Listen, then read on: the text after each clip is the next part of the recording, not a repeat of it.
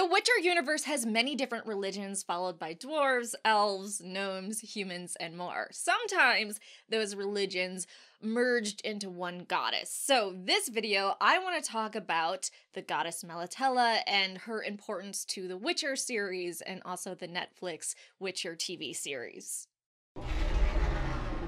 In the Witcher universe, it's important to know that the continent, the landmass on the planet most the Witcher series takes place on, there's a number of different gods and goddesses. They actually have a pretty diverse pantheon, which we actually used to have before we got hella boring.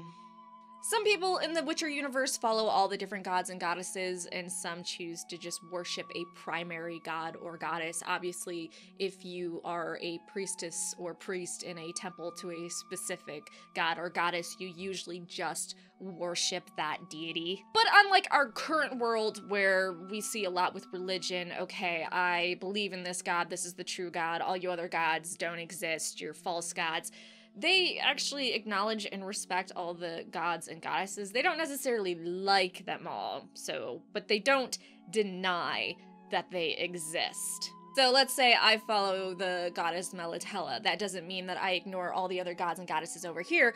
I, I, acknowledge they exist, I just may not pray to them or worship to them. It also doesn't mean that I won't necessarily hate them. So I can go, okay, all those gods and goddesses are over there, you're fine. You, over there, you suck. So there's a lot of gods and goddesses to pick from in this universe. You love to torture people? There's a god for you. Unfortunately. So despite all that and all the different gods and goddesses, this video I actually want to talk about a specific goddess, Melitele, and the cult of Melitele. The cult of Melitele is one of the oldest and most widespread cults, as almost any race has a goddess of harvest and fertility, guardian of farmers and gardeners, patroness of love and marriage. Eventually, all those religions merged into the cult of Melitele. Though it is believed this goddess was originally worshipped by the earliest humans to come to the planet during the conjunction of the spheres, an event that happened 1500 years before the books, and caused humans and magical creatures to come onto the planet.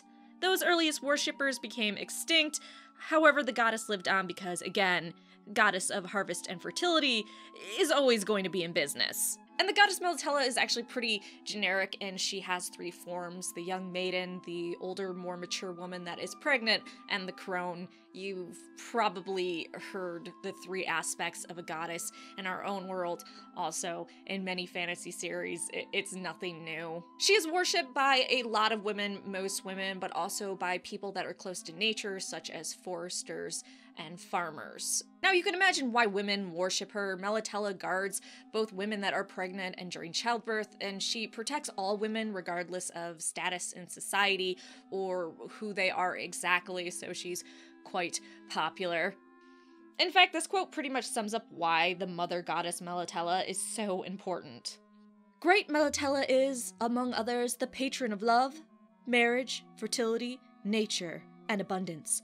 Her cult came to be through the blending of those beliefs many different races and cultures held about these aspects of life. Melitele's popularity never waned, and the phenomena is explained in various ways. I think the causes are prosaic myself. The cult of Melitele is predominantly a woman cult, and the goddess is, among others, the protector of women in childbirth. A delivering woman has to scream, and apart from the usual yells and empty promises that she will never give herself to another mangy man again, the woman has to call some deity for help, and Melitele fits the bill perfectly.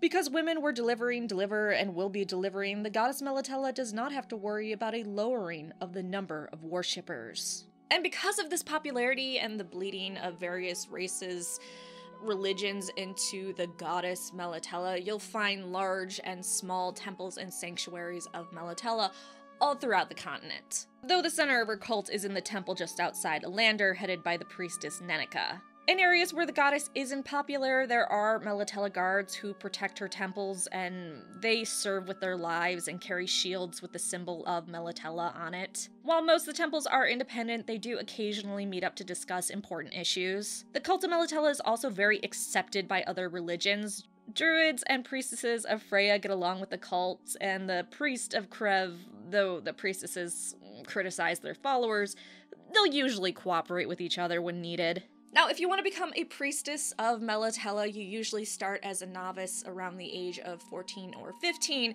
and they take you in and they teach you medicine, botany, biology, math, and a general understanding of the world. And that's just because after you become a priestess, they want you to go out into the world and serve. So you kind of got to know what's going on in the world to do that and not be completely lost and just die.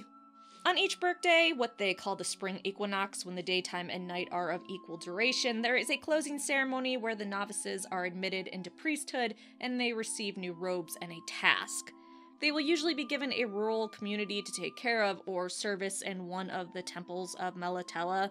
If they travel the world, as a great deal of them do, they are generally teachers, governesses, or wandering druids specializing as midwives or healers for women and children's specific illnesses. So that is the cult of Melitele. Melitele is very important to Geralt and to Ciri because of Mother Nenneke, who I mentioned briefly in this video, and for sure you are going to see Melitele or a priestess of Melitele in the Netflix The Witcher TV series. So thanks for watching, like, subscribe, and come back for more Witcher videos.